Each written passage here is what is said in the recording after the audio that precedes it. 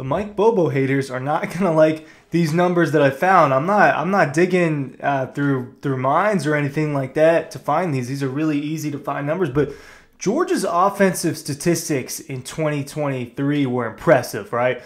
You're coming off of a couple year span where Georgia's winning national championships and Todd Monken is being praised, and rightfully so, for his efforts as Georgia's offensive coordinator and what they were able to do as an offense with Stetson Bennett, Brock Bowers, all those guys that they had those couple years with, with Todd Monken being the coordinator for three years at Georgia. The numbers were great, and Georgia was winning national championships. And guess what? Last year, Georgia was a top 10 offense. Uh, you could argue they were a top five offense because guess what? In total offense, Georgia, fifth. 496.5 yards per game. And we saw a couple games where they they flirted with 600 yards, a couple games where they got that 500 yard mark. And then you look at the scoring as well. Georgia ended the season fifth in, to- in a scoring offense with 40.1 points per game. Who I mean, who was higher when you think about the college football offenses from 2023? You think about the Heisman winner with Jayden Daniels. Yes, they were the number one offense with 45.5 points per game. You think of, uh, you know, another Heisman winner in Caleb Williams. They were in front, but you know USC wasn't that great of a team. Oklahoma scored more, not that great of a team, which is really not my point. My point is, you think about really good offenses across the country. Georgia's was scoring more than Washington, scoring more than uh, you know Michigan, the national champion, who was more of a defensive team and a and a running team, but Mike Bobo and the Dogs and Carson Beck, they put together a really good offensive showing in 2020, uh, 2023, top 20 in both passing and rushing offense. And I think that the balance of those two, and it's kind of what I want to base the second half of this conversation about the balance of the passing and running, I think is part of why Georgia's offense was so good. Being number 20, uh, in, in rushing, being number 11 in passing. You go through and you look at that top 20, there's not a lot of. I feel like I'm preparing for my March Madness bracket, which is not busted as we speak.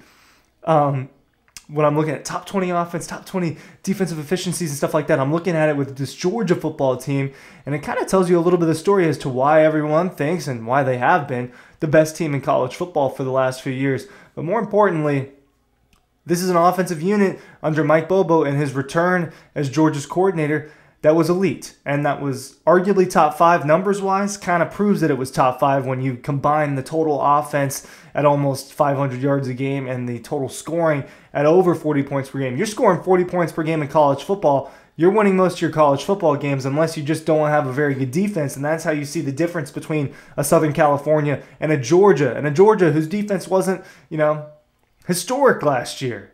It was it was a good defense. It wasn't a, a elite defense We saw what an elite defense was a couple years ago, and a good defense still brings that good of a football team for the Dogs. Ryan Curley from Dawg Post talking about Georgia's offense, a little bit of what I think you should expect to see out of them in 2024, what you should expect to see out of Mike Bobo in 2024 with the personnel. The personnel has changed, and so things will change. Signs keep pointing to the Dogs are going to be really good on offense again despite you know having to deal with some turnover at certain positions. And I think that actually, I'm not saying that that uh, missing out on Brock Bowers is is not going to hurt Georgia. I think you know not having that phenomenal football player is is not good, but they were you know they they succeeded without Bowers in the lineup last year and.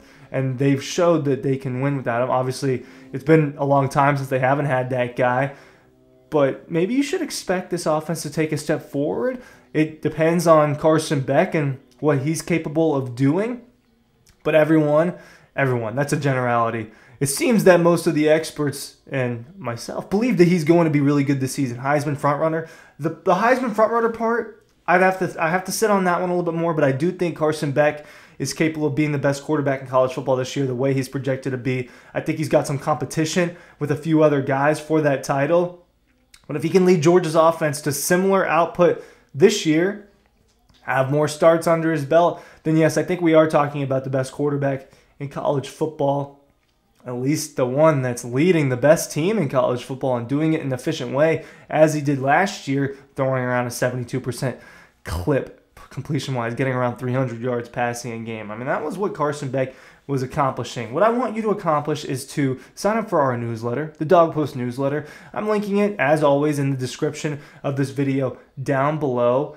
Make sure you're checking it out. It's, look, Trevor Etienne, right?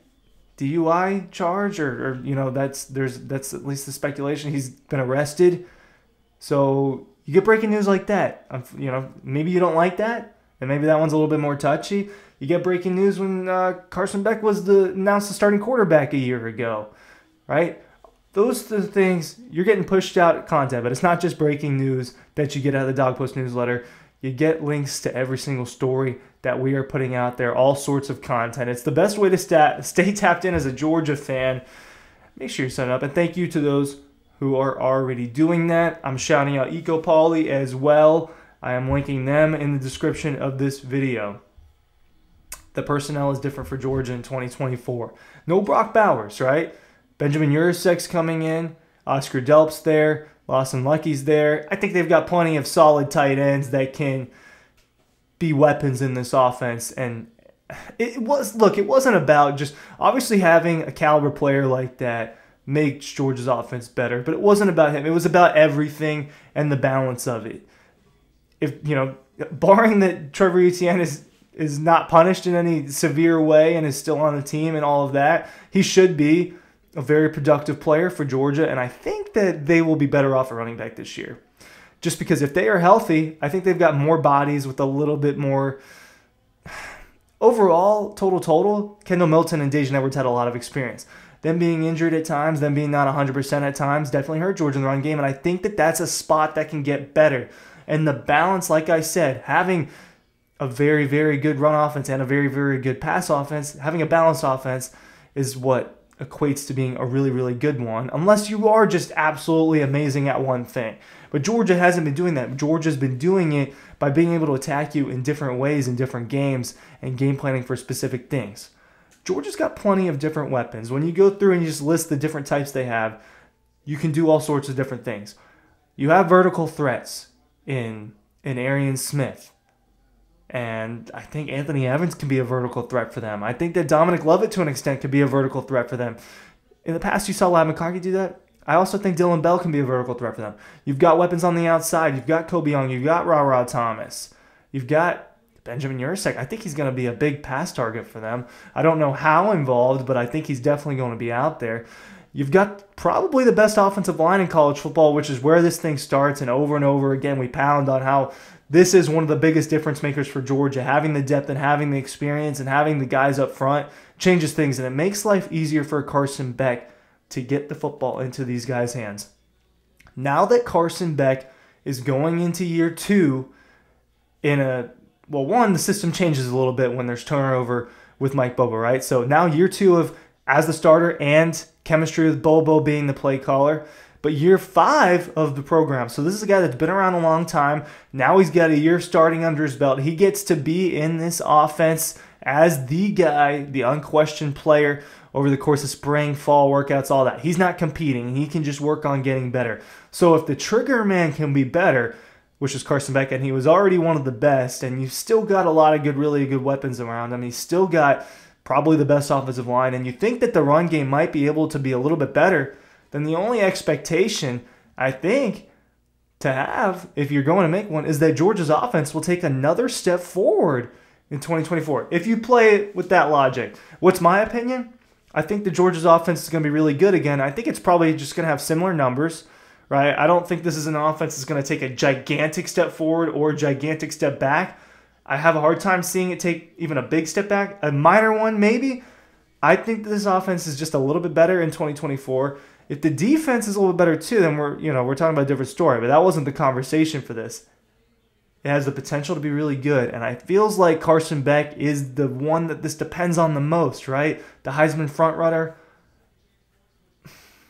Look, the Bobo haters, all those numbers and everything I just talked about, right? Uh, that's proof of the pudding. Look, Georgia's putting up 50 points on multiple SEC teams last year. That's all you need to know. Links are down below. Thanks for watching.